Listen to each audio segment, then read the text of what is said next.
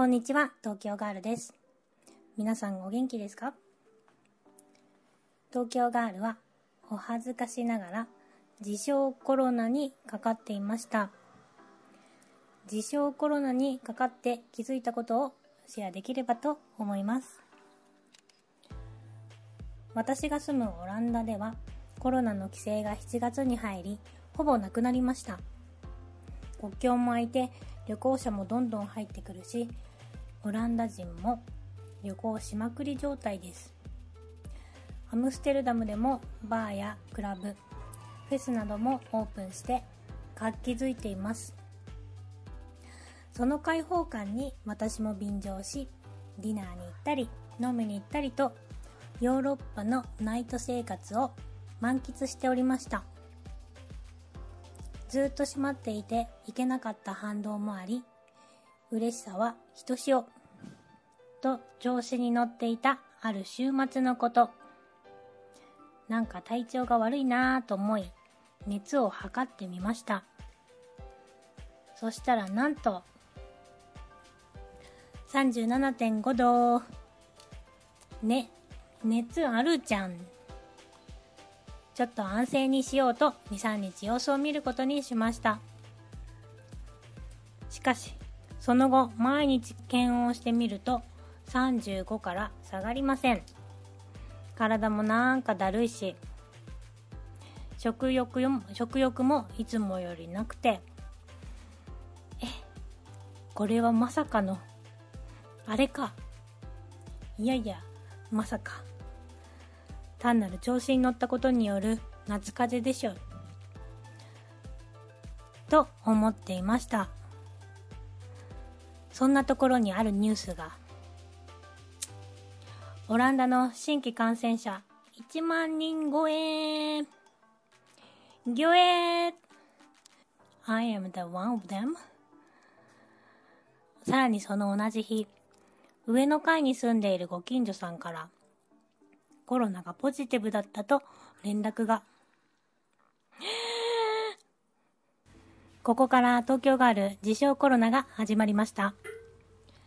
ネットで症状を確認。これはね、一番やってはいけないことですね。胸の痛み。呼吸がしづらい。咳。えー、症状を読んだ次の瞬間から息が苦しい胸が痛い食欲がない全部の症状が現れてきましたあ死ぬと思ってしまいました。そして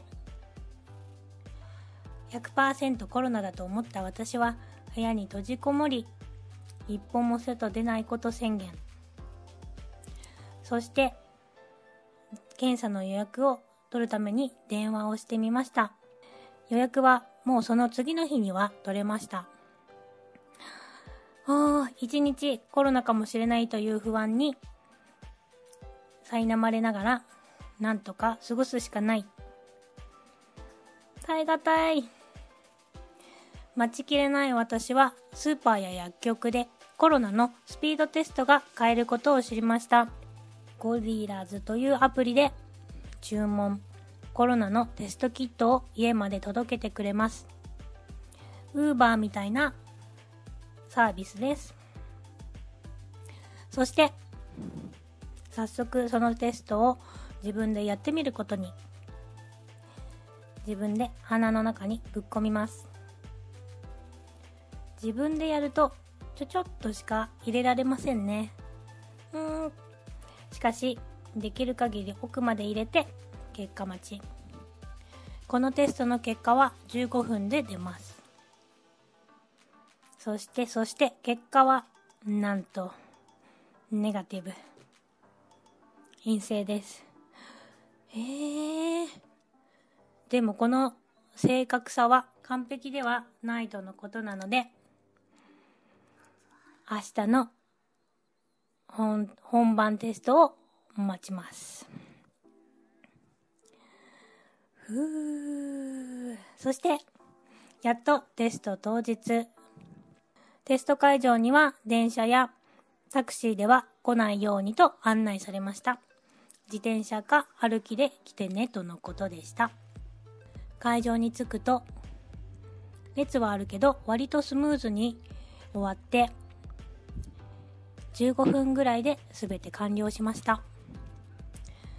テストで驚いたことが、検査の綿棒をまず口に入れられて、その同じ綿棒をそのまま鼻に入れられたんですね。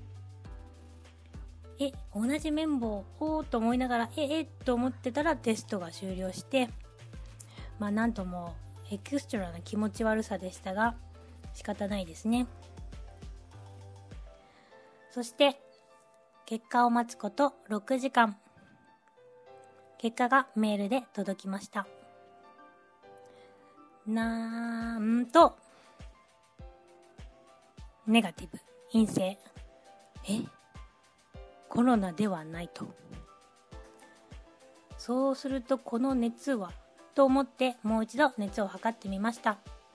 うーん、熱はまだ37度。なんでしょうね。でも、このタイミングから呼吸困難、胸の痛みは消えました。食欲も戻りました。これはマインドゲームでしょうか？私は完全に負け。情報によってこんなに体調が変わること、自分の愚かさを痛感した一日でした。幸いなことに結果は陰性だったけど、あの症状は何だったんでしょう？情けない出来事のシェアでした。海外で慣れない医療システムだと余計不安を感じることがありますが、オランダは救急以外にも緊急に相談するところがあります。土日深夜の対応もしています。緊急外来に行くほどじゃないけど、今日見てもらいたいなってことが土日深夜でも叶います。日本との医療システムの違いはありますが、オランダの医療システムを少しずつ理解してきたかなと思っています。コロナのテストも簡単に受けれたのは安心できました。情報をどういう風にどんな風に耳にするかでこんなに一日が劇的に変わるかというアホ丸出しな出来事でしたが皆さんも本物のコロナと自称コロナにもお気をつけください。それではまたねバイバイドゥイン YouTube のライブ配信をしたいと思っています。携帯を通してライブ配信をするには1000人の登録者の方が必要です。チャンネル登録していただけると涙ちょちょぎれます。それではバイバイ。ルイ